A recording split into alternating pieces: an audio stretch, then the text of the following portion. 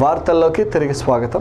Agricultural యూనివర్సిటీలలో పనిచేస్తున్న time scale ఉద్యోగులకు హెచ్ఆర్ఏ సిసిఏ లీవ్ సౌకర్యం కల్పించాలని కోరుతూ Acharya NG Ranga agricultural university employees and workers union ఆధ్వర్యంలో ఉద్యోగులు నేడు ధర్నా నిర్వహించారు. రాష్ట్రంలోని అన్ని యూనివర్సిటీ ఉద్యోగుల మాదిరిగానే అగ్రికల్చరల్ యూనివర్సిటీ ఉద్యోగులకు కూడా ఈ వసతులు కల్పించాలని వారు ఈ సందర్భంగా డిమాండ్ చేశారు. సుమారు ఇరవై నుండి ఇరవై ఐదు సంవత్సరాల సర్వీసు ఉన్నప్పటికీ చట్టపరమైన హక్కులు కల్పించకుండా శ్రమ దోపిడీ చేస్తున్నారని వారు ఆరోపించారు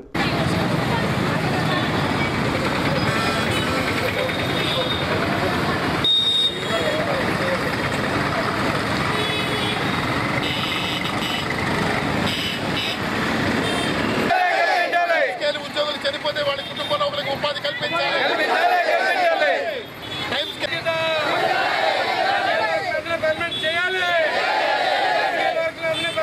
Acharya NG Ranga agriculture యూనివర్సిటీలో వెయ్యి మంది టైం స్కేల్ ఉద్యోగులు పనిచేస్తూ ఉన్నారు. వీళ్ళంతా ఇరవై ఐదు నుంచి ఇరవై ఐదు సంవత్సరాల సర్వీస్ పూర్తి చేసిన వాళ్ళు. రాష్ట్రంలోని అన్ని యూనివర్సిటీల్లో టైం స్కేల్ ఉద్యోగులకి హెచ్ఆర్ఏ సిసిఏ లీవ్ సౌకర్యాలని రాష్ట్ర ప్రభుత్వం కల్పిస్తోంది కానీ అగ్రికల్చర్ యూనివర్సిటీలో పనిచేస్తున్న టైం స్కేల్ ఉద్యోగులు మాత్రం హెచ్ఆర్ఏ సిసిఏ సౌకర్యాలు కానీ లీవ్ సౌకర్యాలు కానీ లేకుండా ప్రభుత్వం చాకరీ చేయించుకుంటోంది.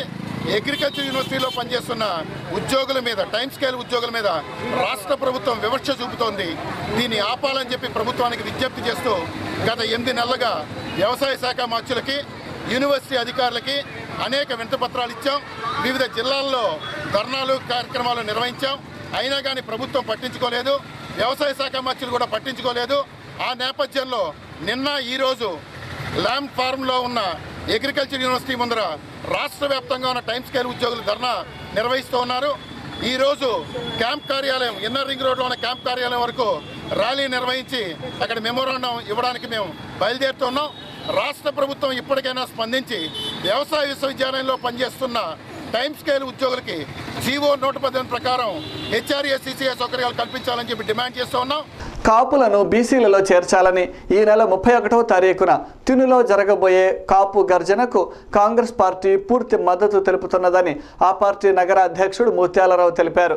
నేడు కాంగ్రెస్ పార్టీ కార్యాలయంలో నిర్వహించిన కార్యకర్తల సమావేశంలో నాయకులు పాల్గొని మాట్లాడారు. ఈ నెల ఇరవై ఐదవ తేదీన వెంకటేశ్వర విజ్ఞాన మందిరంలో కాపుల అంశంపై సమావేశాన్ని నిర్వహిస్తున్నామని ఈ సమావేశంలో కాంగ్రెస్ పార్టీ నాయకులు పాల్గొని చర్చించనున్నట్లుగా తెలిపారు. కాపులు కోరుతున్న న్యాయమైన డిమాండ్ను అమలుపరిచే విధంగా ప్రభుత్వంపై ఒత్తిడి తెస్తామని అన్నారు.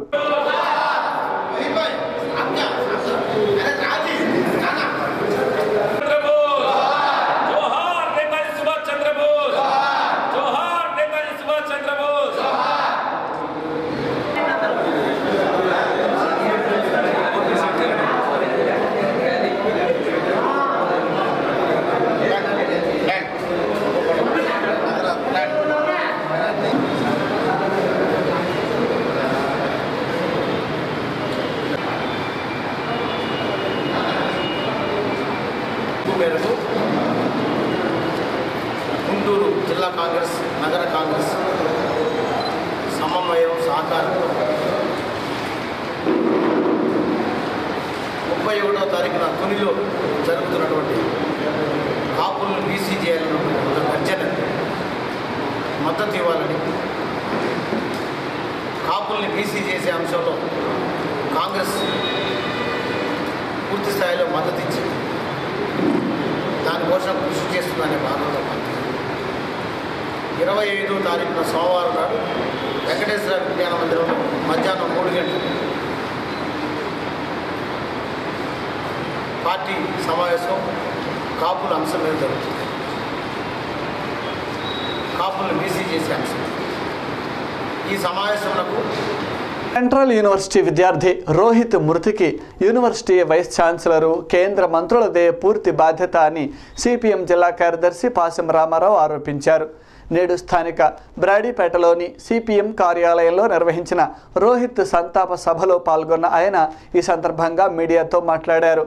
అంబేద్కర్ అభ్యుదయాలను ప్రచారం చేస్తున్న కారణంగానే ఆ విద్యార్థిపై చర్యలు తీసుకున్నారని అన్నారు. బీజేపీ ప్రభుత్వం ఆర్ఎస్ఎస్ భావజాలాన్ని విద్యాలయాల్లో బలవంతంగా రుద్దే ప్రయత్నం చేస్తున్నదని ఇది ఎంతో ఆందోళన కలిగించే అంశంగా ఆయన అభివర్ణించారు. ఈ అవకాశం ఇచ్చినటువంటి కేవీపీఎస్ జిల్లా కమిటీ కృతజ్ఞతలు తెలియజేస్తూ మేము ముగిస్తున్నాం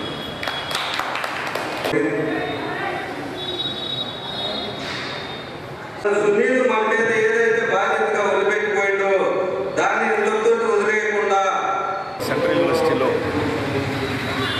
వేముల రోహిత్ ఆత్మహత్య చాలా బాధాకరమైనటువంటి ఘటన. ఈ ఘటనకి అక్కడ ఉన్నటువంటి వైస్ ఛాన్సలర్ అదేవిధంగా బీజేపీ మంత్రి బండారు దత్తాత్రేయ స్మృతి ఇరానీ బాధ్యత వహించాలని చెప్పేసి మేము కోరుతా ఉన్నాం. ఆయన గుంటూరు జిల్లాకు సంబంధించిన వ్యక్తి అభ్యుదయ భావాలు కలిగినటువంటి వ్యక్తి అంబేద్కర్ భావజాలాన్ని ప్రచారం చేయడం కోసం అంబేద్కర్ విద్యార్థి సంఘాన్ని పెట్టి ఆయన అక్కడ ప్రచారం చేస్తున్నటువంటి నేపథ్యంలో అది గిట్టనటువంటి ఏపీ ఆర్ఎస్ఎస్ వాళ్ళు కేంద్ర ప్రభుత్వాన్ని ఒత్తిడి చేసి అదేవిధంగా బండారు దత్తాత్రేయ లెటర్ ఇచ్చినందువల్ల శృతి దాన్ని లెటర్ ఇచ్చినందువల్ల దానికి తలొగ్గి అప్పారావు వైస్ ఛాన్సలర్ అప్పారావు గారు వీళ్ళని సస్పెండ్ చేయడం అనేటువంటి జరిగింది. ఆయన మానసిక న్యూనతాభావానికి గురై ఆత్మహత్య చేసుకోవడానికి కారణం కేంద్ర ప్రభుత్వం అని చెప్పేసి మేము చెప్తున్నాం. అందుకనే ఇది ఆత్మహత్య కాదు హత్య అని చెప్పేసి మతోన్మాదులు చేసినట్టు హత్య అని చెప్పేసి మేము తెలియజేస్తా ఉన్నాం. ఎప్పటికైనా సరే ప్రభుత్వం స్పందించి ఈ ఆత్మహత్యకు కారణమైనటువంటి బాధ్యులపైన తగిన చర్యలు తీసుకోవాలని చెప్పేసి వాళ్ళ కుటుంబానికి తగిన నష్టపరిహారం ఇవ్వాలని ఏదో టెంపరీ ఉద్యోగం ఇస్తామన్నారు. ఎన్టీఆర్ వైద్య సేవల పథకంలో విధులు నిర్వహిస్తున్న సుమారు రెండు వేల మంది ఉద్యోగులను జీవో నంబర్ ఇరవై ఎనిమిది పేరిట తొలగించడం దారుణమని తక్షణమే ఆ ఉద్యోగులను విధులలోకి తీసుకోవాలని ఏఐటియుసి రాష్ట్ర అధ్యక్షుడు చలసాని వెంకటరామారావు డిమాండ్ చేశారు. గత ఎనిమిది సంవత్సరాల నుండి విధులు నిర్వహిస్తూ ఉండగా ఇప్పుడు టెక్నికల్ పరిజ్ఞానం లేదనే సాకుతో ఉద్యోగులు రోడ్డున పడేలా చర్యలు తీసుకున్నారని అన్నారు. ఉద్యోగులతో కానీ యూనియన్తో కానీ ఎటువంటి చర్చలు జరపకుండా ఏకపక్షంగా ప్రభుత్వం తీసుకున్న ఈ నిర్ణయం చట్ట వ్యతిరేకమని అన్నారు. పెద్ద ఎత్తున విజయవాడ తరలి వెళ్ళి మన బోర్డు వెళ్ళపోసుకోవాలని చెప్పి నిన్న ఈ హాస్పిటల్స్ నెట్వర్క్లో పనిచేస్తున్నటువంటి సబ్జెక్ట్ నెట్వర్క్లో పనిచేస్తున్నటువంటి దెబ్బలు అయితే దాని మీద పెద్ద ఉద్యమం జరిగింది.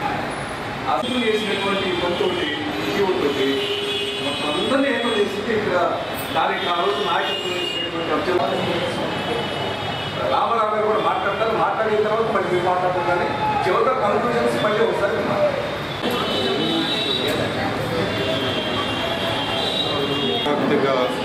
ఎన్టీఆర్ వైద్య సేవా ట్రస్ట్లో పనిచేస్తున్నటువంటి రెండు వేల మంది ఉద్యోగులను జీవో ఇరవై ఎనిమిది పేరుతో తొలగించి కొత్త వారిని తీసుకోవాలని చెప్పి రాష్ట్ర ప్రభుత్వం నిర్ణయించింది. గత ఏడెనిమిది సంవత్సరాలుగా ఈ రంగంలో పనిచేస్తున్నటువంటి కార్మికులు వీరికి రిటర్న్ టెస్టు ఇంటర్వ్యూలు అన్నీ నిర్వహించి ఉద్యోగాల్లోకి తీసుకుని వీరికి వేతనాలు చెల్లిస్తూ మరి ఇంతకాలం పనిచేసిన తర్వాత వీరిని ఒక కలంపోటుతో రాష్ట్ర ప్రభుత్వం ఇవాళ ఉద్యోగాల నుంచి తొలగిస్తూ కొత్త వాళ్ళని రిక్రూట్ చేసుకోవాలని చెప్పి చెప్తుంది. దీనికి కారణం ఏంటంటే వీళ్ళకి సామర్థ్యం సరిగ్గా లేదు.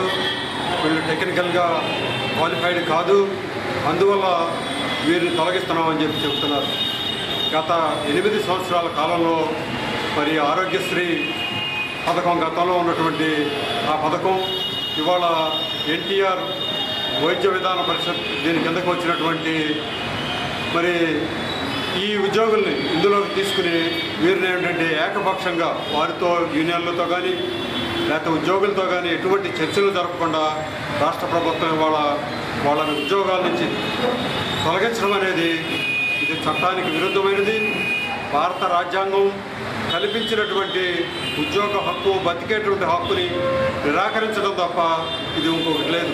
క్యూటీవీ న్యూస్ ముగించే ముందు హెడ్లైన్స్ మరొకసారి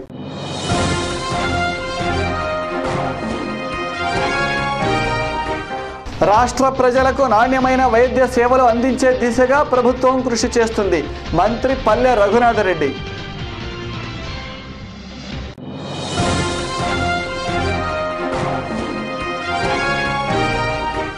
జాతీయ రాష్ట్ర రహదారులపై మద్యం దుకాణాలు ఎత్తివేయాలని కోరుతూ లోక్సత్తా పార్టీ ఆధ్వర్యంలో ధర్నా.